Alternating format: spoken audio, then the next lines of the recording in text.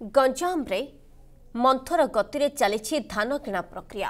ଏଯାଏଁ ଚାଷୀଙ୍କୁ ଟୋକନ୍ ମିଳିପାରିନାହିଁ। ସେପଟେ ମଣ୍ଡି ଖୋଲିବାର ପାଞ୍ଚ ଦିନରେ ମାତ୍ର ତିନି ଜଣ ଚାଷୀଙ୍କଠାରୁ ଶହେ ଚଉବନ କ୍ୱିଣ୍ଟାଲ ଧାନ କିଣାଯାଇଛି ଏଣୁ ବାଧ୍ୟ ହୋଇ ଚାଷୀ ଆନ୍ଧ୍ର ବେପାରୀଙ୍କୁ ଧାନ ବିକ୍ରି କରୁଥିବା ଅଭିଯୋଗ କରିଛନ୍ତି।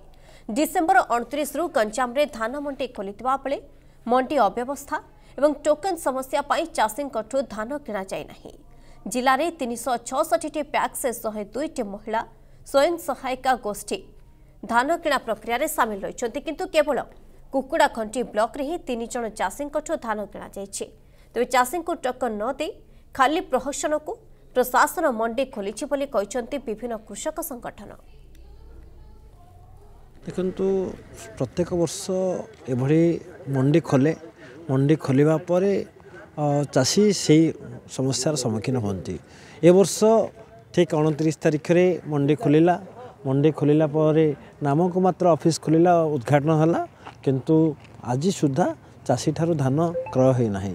ଏବଂ ବର୍ତ୍ତମାନ ଏ ବର୍ଷ ଯେଉଁଭଳି ଭାବେ ବର୍ଷା ଯୋଗୁଁ ଗଭୀର ଭାବେ କ୍ଷତି ହୋଇଛି ଧାନ ଏବଂ ସମସ୍ତ ଫସଲ ଗମୁ ହୋଇଛି ଧାନ ଗମୁ ଯେତେବେଳେ ହେଇଛି କେମିତି ଉଠିବ ତା ପାଇଁ ଏକ ବିଧିବଦ୍ଧ ବ୍ୟବସ୍ଥା କରିବା ଦରକାର।